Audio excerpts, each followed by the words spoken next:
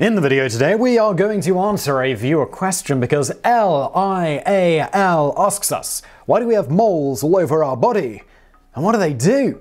Moles in general are simply an abnormal grouping of cells called melanocytes. Melanocytes are the cells responsible for giving your skin its pigment. They reside in the basal layer of your skin and overall have a surprisingly uniform distribution. Their density will vary depending on the part of the body they reside in. For example, there are around 900 melanocytes per square millimeter on your back and around 1,500 per square millimeter around your genitals. During fetal development, their progression stops at the palms of your hands and the soles of your feet. They don't just reside in your skin, however, they're also found in the cochlea of your ear, the iris of your eye, and the part of your brainstem called your mesencephalon. When melanocytes group together, it's called a nest. These nests will show up as a mole. While it isn't fully understood why moles develop, it's known that most begin during fetal development. If you're born with a mole, it's termed congenital. About 1 in 100 people are born with congenital moles, and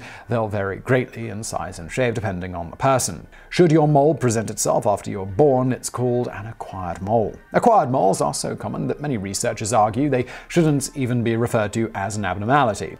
Almost everyone has at least one, and most people with light skin have between 10 and 40. No one has definitively shown why someone will acquire a mole, but there are risk factors such as increased exposure to UV light and many genetic causes, including mutations to certain types of genes. These types are usually round, symmetrical, and have the same color throughout, usually brown, tan, black, or red. Almost all are smaller than a pencil eraser.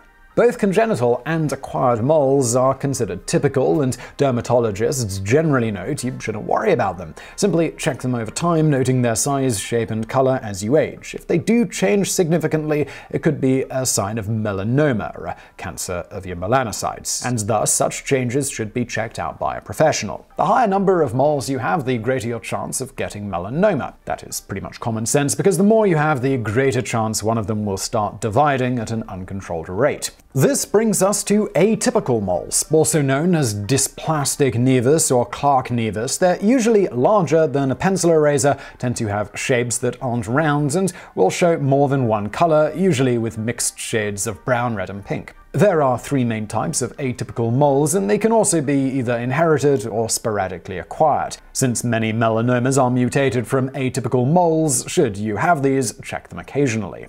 There is some confusion among doctors as to how often you should check them, because studies have consistently shown that about half of atypical moles will change over the course of 89 months, and they aren't a problem at all. The exact chance of having one of yours turn into something more sinister is still only about 1 in 200,000.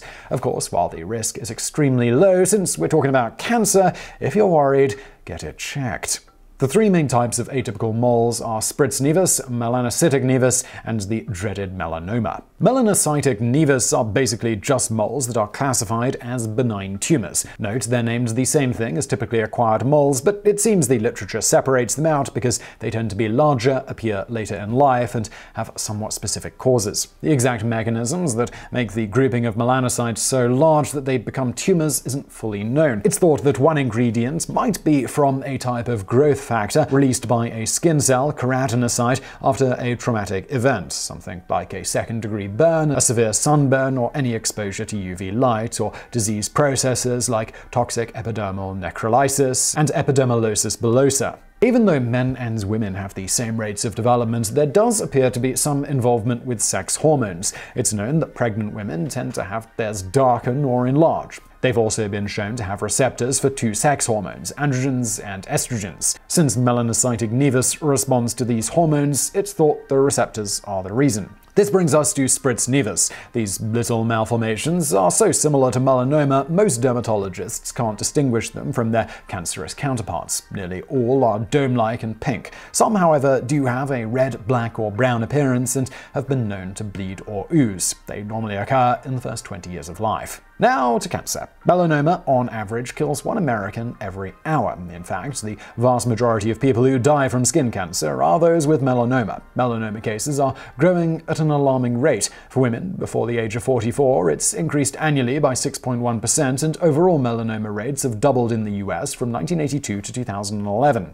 UV exposure is thought to be one of the biggest contributors to the increase. In fact, the use of a tanning bed before the age of 30 will increase your risk of getting melanoma by by 75%. But even just with the sun, if you like baking like a cake, just stop doing that. No one wants leathery skin at 40 or a deadly disease, so use sunscreen, and for those trying to darken up, instead learn to accept you for you. As ever, it's not about the color of your skin, but the content of your character.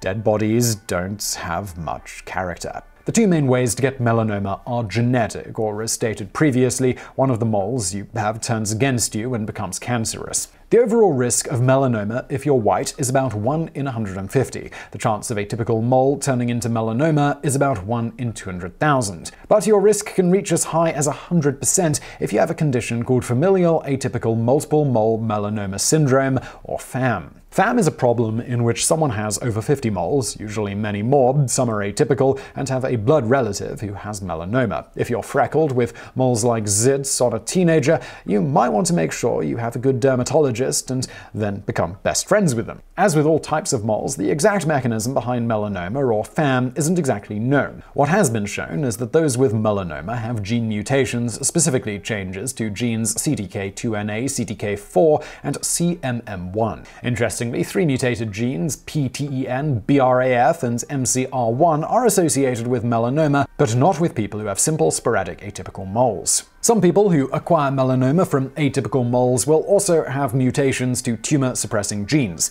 No matter what genes are involved, every study shows that exposure to UV light will greatly increase your chance of having atypical moles that turn into melanoma. In the end, almost every light skinned person on the planet has mold. The majority of people will never have to worry about anything ominous with them. But no matter the type, if you're worried about it at all, get it checked by a dermatologist. The five year survival rate for melanoma is 98% if it's caught before it spreads to your lymph nodes. Past that point, it decreases dramatically to around 18%. So keep tabs on your blemishes. If nothing else, it may give you an excuse to ask someone to stare at you naked. You know, for your health. The effort put forth could then lead to a carnal reduction in the stress that you had about them in the first place. Now for some bonus facts. Melanin has two types of pigments, and they are essential in determining your hair color. Eumelanin, dark brown and black, and pheomelanin, yellow, red, and light brown. Along with melanin, the pigments involved in determining your skin color are hemoglobin, red, hemosiderin, brown, carotene, yellow, orange, or red, and bilin, yellow. And now for another bonus fact. The density of melanocytes on the palms of your hands and the soles of your feet is fivefold less than other parts of your body. This is why even dark complexioned people will have lighter palms and soles. So I really hope you found that video interesting. If you did, please do hit that thumbs up button below and don't forget to subscribe. We got brand new videos just like this every day of the week. For more from me, why not check out a podcast I do called The Brain Food Show? If you search Brain Food wherever you get your podcasts, you are going to find it. And as always, thank you for watching.